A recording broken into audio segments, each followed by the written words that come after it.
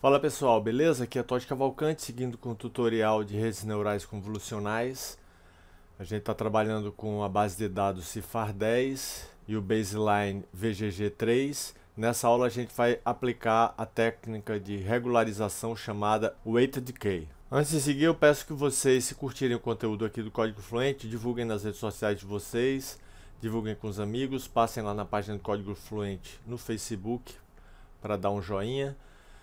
Se inscrevam aqui por esses links de afiliados que eu deixo aqui para vocês na Hosting Digital Ocean e One.com. Eu deixo aqui também o link da Digital Innovation. Tem vários bootcamps e cursos gratuitos bem legais.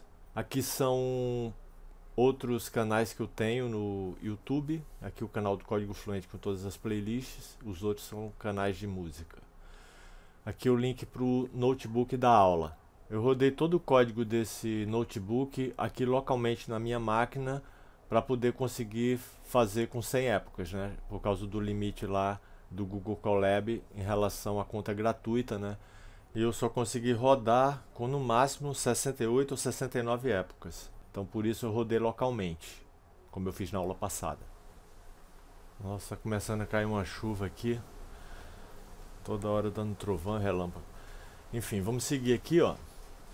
Então a gente vai é, trabalhar com essa técnica de regularização chamada Weight Decay. Na aula passada usamos a técnica de regularização chamada dropout. O dropout não depende da modificação da função de custo ou perda. Já o weight decay, ou redução de peso, que é a técnica que vamos explorar nessa aula, precisa da atualização da função de perda para penalizar o modelo em proporção ao tamanho dos pesos do modelo. Assim como o dropout, o weight decay, ou redução de peso, é um tipo de regularização usado para controlar o overfitting do modelo. Origem do weight decay.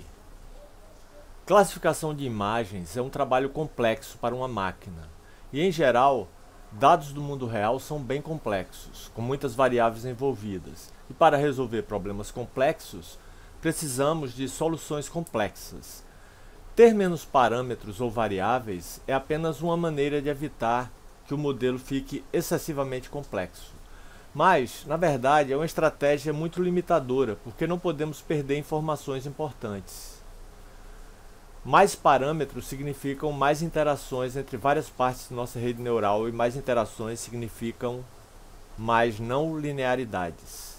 Essas não linearidades nos ajudam a resolver problemas complexos. No entanto, não queremos que essas interações saiam do controle. Então, se penalizarmos a complexidade, ainda usaremos muitos parâmetros, mas evitaremos que nosso modelo se torne muito complexo. Foi assim que surgiu a ideia da redução de peso. Já testamos 100 épocas com o dropout, agora vamos testar 100 épocas com o weight decay. E na próxima aula a gente vai utilizar a técnica de regularização Data Augmentation, né? o aumento de dados. E a gente vai comparar as três técnicas, né? Dropout, Weight Decay e o Data Augmentation, para ver qual delas que deu mais certo, né? que conseguiu é, fazer o modelo sair melhor, com uma precisão melhor. Né? Então vamos aqui a definição do modelo. Ó. O dropout a gente vai tirar eu deixei aqui, ó, comentado, tá vendo? Onde a gente tinha colocado na aula passada, a gente pode tirar, mas eu deixei assinalado aqui como comentado em vermelho só para saber que a gente, isso aqui não vai entrar no código, na verdade o que vai entrar é isso daqui, né? Nessas camadas aqui, ó, convolucionais 2D. Aqui, aqui, e aqui na, nessa camada depois da flatten, né? Essa camada dense.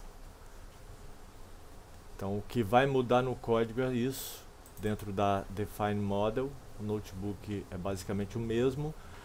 É, então aqui quem quiser rodar na máquina local é só instalar o Anaconda. É, e aí criar o ambiente, lá o TensorFlow no ambiente. Na aula passada eu expliquei mais ou menos como fazer e deixei um link também para quem quiser saber como é que faz para instalar o Anaconda, mas é muito simples. É, e aí ele já vai te dar um monte de coisa pronta e é fácil você criar os ambientes aqui também. Então, como é que você vai fazer? Eu vou fazer aqui rapidamente. Eu estou abrindo aqui o Anaconda, ele fica abrindo um monte de terminal Python, tá vendo? Ele abre e fecha. Mas basicamente a gente vai primeiro ativar o ambiente que a gente criou na, na aula passada e instalou o TensorFlow.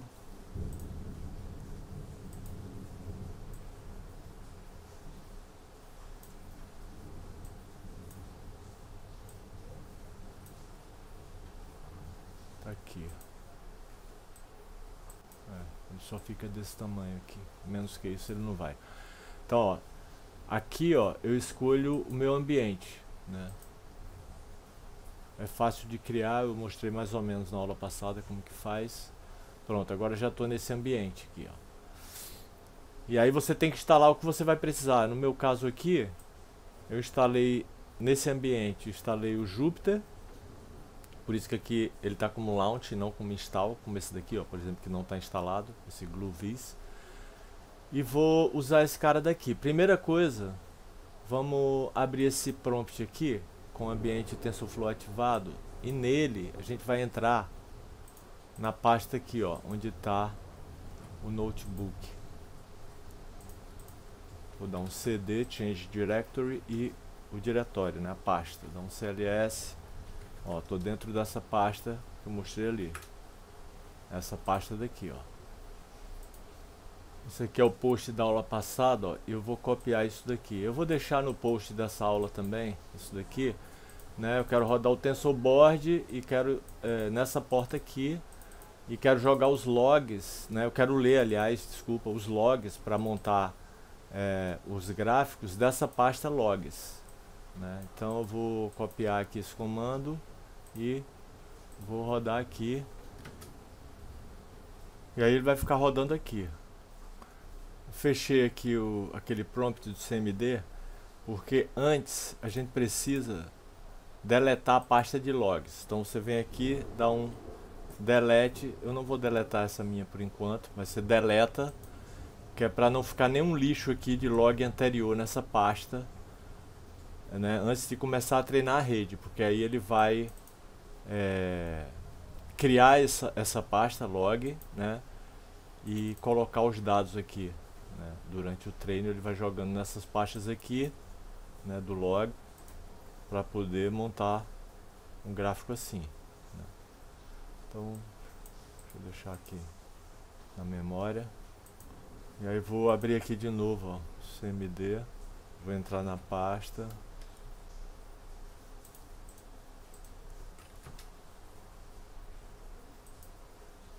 E aí sim, depois de deletar a pasta lá de logs, essa daqui, né, que eu não deletei aqui no meu caso, e aí é só rodar esse comando aqui, dar o Enter, né? Que isso aqui vai ficar aqui, ó.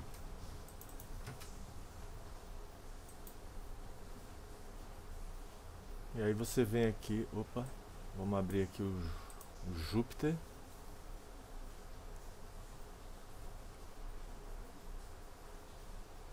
E aí, ó, ele abre assim.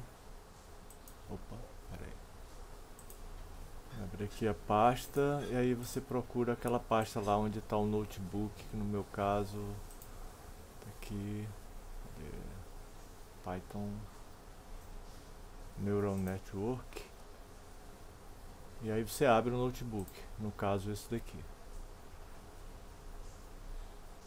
Ele vai abrir aqui Ó, Wait Decay, aula 28 e tal, é exatamente o mesmo notebook. Para rodar você clica, dá um Ctrl Enter ou vem aqui e dá um Run. Né? Vai rodando cada célula, eu não vou rodar aqui porque eu já rodei. Né? Aqui não vai mostrar porque, ó, aqui são as 100 épocas. O gráfico não, ah, deixa eu ver aqui, ah, mostrou, ó, o meu gráfico aqui.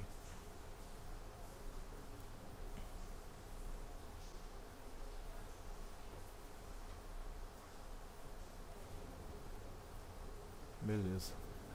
E aí para rodar você vai é, rodando, né, célula por célula até chegar nessa daqui, ó, que é a que vai demorar mais, que é justamente o treino da rede, né? É onde a rede vai começar o treinamento por 100 épocas. E aí eu deixei, liguei de noite e no outro dia de manhã rodei essas outras duas células. Porque como ele consome muita memória, é legal você deixar o computador fazendo só isso, para não dar pau, entendeu? É um processamento bem pesadinho, né? E para acelerar esse processamento, as pessoas é, têm usado muito GPU, né? Que é um processador de placa gráfica. São processadores mais simples, né? Que fazem cálculos mais simples, mais específicos mas eles fazem esses cálculos de uma forma muito, muito, muito, muito mais rápida do que uma CPU normal. Então as pessoas passaram a usar processamentos em GPU, né? além de processamento em CPU. Né? É, aqui localmente eu estou fazendo só com processamento em CPU, até porque minha placa gráfica não é lá essas coisas, então estou é, usando só CPU mesmo. Mas lá no Colab é, você tem a opção de. Deixa eu. É, vou abrir já no Colab para a gente ver o código lá. Apesar que eu, lá eu não rodei o código, né? Só rodei aqui localmente. Mas eu vou abrir lá porque eu tirei uns prints, coloquei esses resultados, tirei o print disso aqui e coloquei lá também. Mas lá você tem a opção de comprar processamento. Depois eu volto aqui para mostrar aqui, porque aqui ó, fica mais fácil de ver porque ele tem essa opção aqui da gente ver essa bolinha aqui, por exemplo, no gráfico. No print não dá para ver isso, né? Depois eu volto aqui para a gente analisar a saída, né?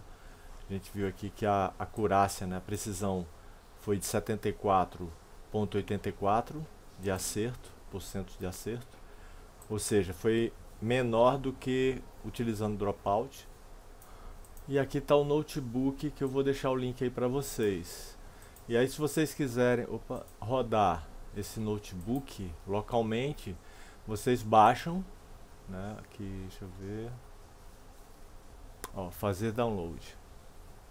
Aí você pode baixar como código Python ou o código é, com essa extensão aqui que é do notebook, né? Que mistura Markdown, né? Isso aqui com células de código. Então você vem aqui arquivos, fazer download e baixa, se você quiser, e aí localmente você roda da forma como eu mostrei aí usando o Jupyter do Anaconda. É, então é isso, o código é exatamente o mesmo, né, da aula passada. O que mudou é aquilo que eu mostrei lá no post, que eu coloquei em azul, que é justamente aqui na definição do modelo que a gente está utilizando esse kernel regularize L2 opa L2 com 0.001 aqui aqui ó em todas as conv 2D aqui também nesse bloco nesse bloco 3 também e aqui na na camada dense e o dropout está comentado Posso até tirar ele. Eu vou tirar só pra ficar mais enxuto. Isso aqui era só para mostrar para vocês que nesse caso aqui desse teste a gente não está utilizando dropout, que foi o que a gente utilizou na aula passada. Depois a gente pode misturar as técnicas e ver no que é que dá. E aqui a saída, né, eu coloquei aqui na mão mesmo, porque como eu não rodei aqui, né, não tem uma célula aqui de saída desse código aqui, nem o treinamento da rede. E aqui o print lá do, do gráfico que eu rodei lá na, na minha máquina local, né? Esse aqui.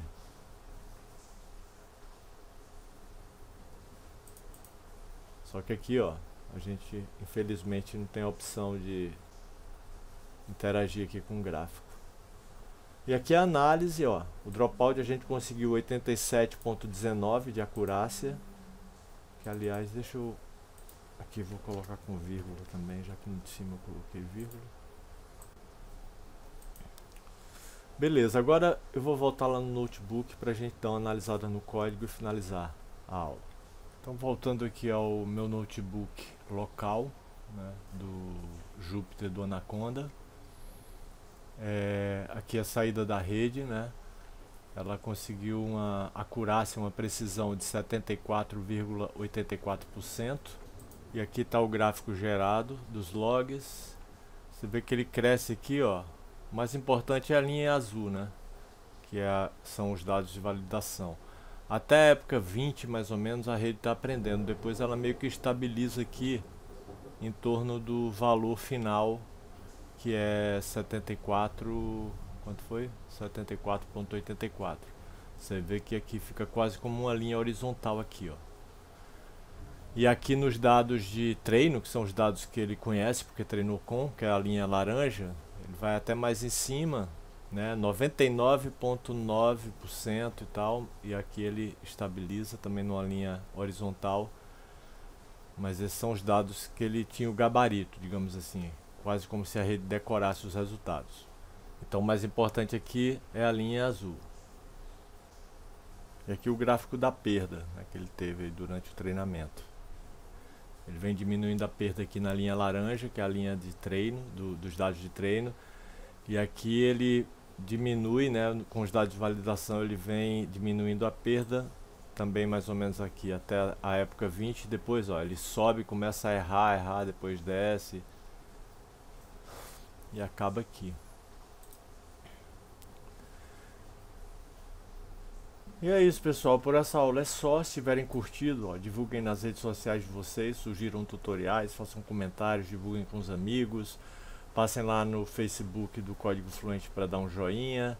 Se inscrevam aqui, ó, nesses links que eu deixo para vocês aqui na Hosting, DigitalOcean e One.com para conhecer gratuitamente o serviço dessas empresas. Aqui são os meus links do, de canais do YouTube. Aqui o canal do Código Fluente com todas as playlists. Lá embaixo tem um link para doações, ó. Importante. É isso, valeu, obrigado. Até a próxima e bons estudos. Na próxima a gente vai ver, eu nem falei, a gente vai ver Data Augmentation. Né? A gente vai explorar essa técnica aí e ver a diferença em relação às outras duas que a gente já explorou. Valeu, obrigado, até a próxima e bons estudos!